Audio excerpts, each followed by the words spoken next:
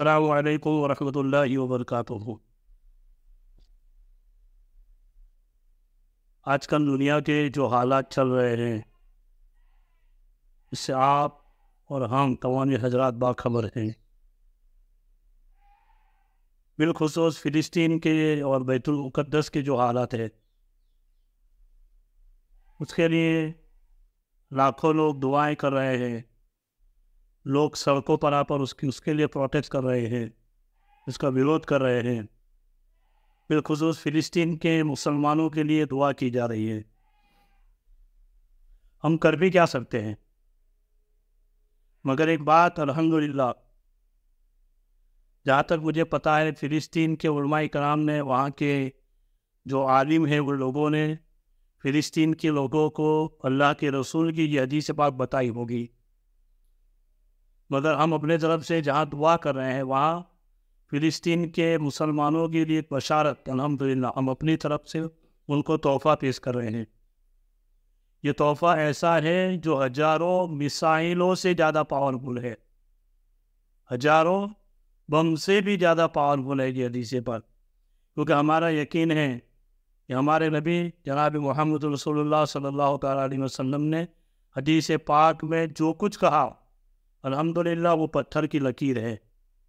अल्लाह के रसूल ने एक दुआ दमिश के मुसलमानों के लिए की और एक दुआ फ़िलिस्तीन के मुसलमानों के लिए अल्लाह के रसूल ने आज से चौदह सौ साल पहले दुआ की है। मुस्ंद इबन आला की हदीस है, हदीस नंबर छः हज़ार तीन सौ छियासी। मुस्ंद अभी आला में हदीस नंबर छः हज़ार तीन सौ छियासी।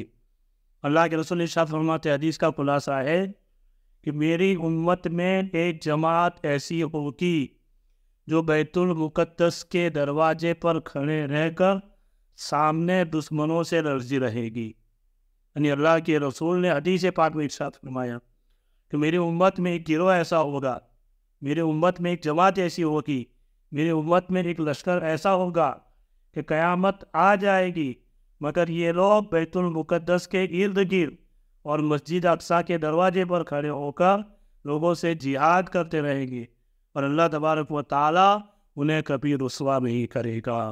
सुबहान अल्लाह जरा सोचो, अल्लाह के रसूल ने चौदह सौ साल पहले फ़िलिस्तीन के मुसलमानों पर फ़ख्र किया।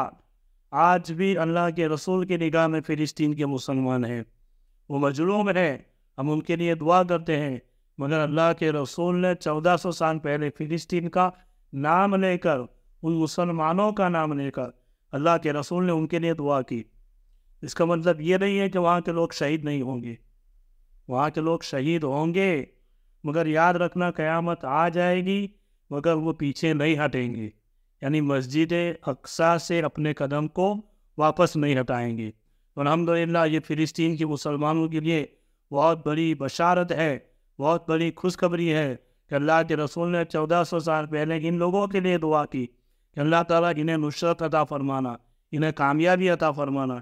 जो लोग मस्जिद अक्सा की हिफाजत के लिए उसके दरवाजे पर खड़े होकर दुश्मनों से लड़ रहे हैं, अल्लाह के रसूल जरा सोचो, अल्लाह के रसूल का इल्म गए। हमें इतना यकीन क्यों है?